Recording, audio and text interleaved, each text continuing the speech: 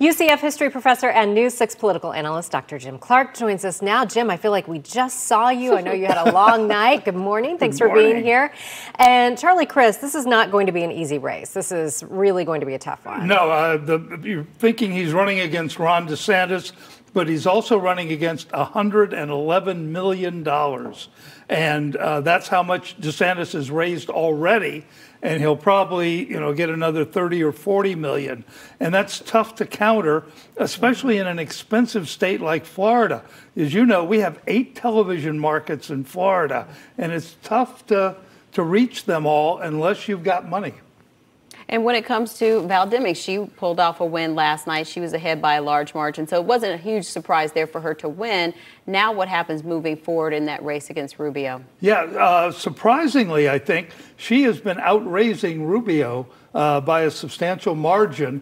She's also been spending a lot of money. Her problem is, uh, although she's known in Central Florida, she's not known statewide. And so she's going to have to spend a lot of money just getting herself to be familiar with the voters throughout the rest of the state. And continuing that trend on surprises, anything that surprised you maybe in the Congress race? Yeah, I was surprised at how well Laura Loomer did. Mm-hmm. She had moved to that district uh, just to uh, uh, challenge Dan Webster, who had been in Congress for a dozen years, been in politics for more than four decades, and she came very close to uh, pulling it off. Yeah, and she hasn't conceded yet, right?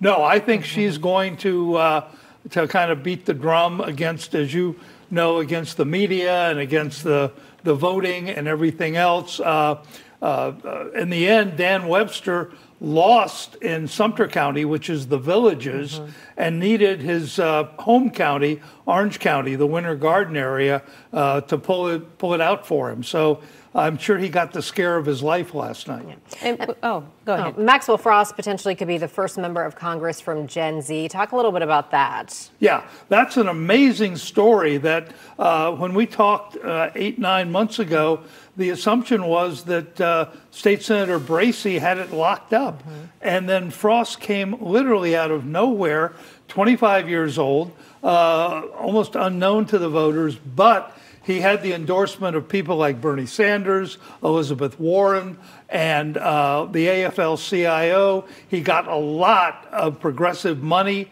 And, uh, you know, you think about it here's a guy, 25 years old, unknown, defeating a state senator and two former mm-hmm. members of Congress. Almost yeah. unheard of. Julie. Yeah, and by a pretty big margin. Yes, by a comfortable margin. Yeah. Yeah, it's interesting to see uh, how much more we can learn about that campaign and, and moving forward. Uh, what about when it comes to the school boards? We looked at the influence of the governor's support behind many of these candidates who won last night. I think that's going to be one of the biggest stories coming out of this uh, primary night. As you know, all year people have been uh, tracking Donald Trump's endorsements. How how much influence does he still have? And he's batting about 900. So that's that's been uh, an enviable number. The question was, would the governor have the same kind of impact uh, in school board races? He endorsed 30 people in school boards, uh, and it was kind of a late, haphazard thing, and yet so far, 26 of his 30 have won, most running against entrenched incumbents. Two are still, you know, uh, on the fence, but an amazing night. Not only did he win the nomination, of course, but it really shows his reach that mm-hmm. he was able to control these races. And then attorney Aramis Ayala now taking on Ashley Moody. What's kind of your your you know, what is what does that mean now for for the yeah, race? Yeah, uh, basically we have someone running for attorney general who is opposed to the death penalty, right. which has never happened in Florida. So again, I think she has uh, an uphill climb. Uh, it's going to be more difficult for her to raise money because I think all the money is going to go for Kristen Demings. Mm-hmm. Uh, so I think that uh, she's going to have a tougher time.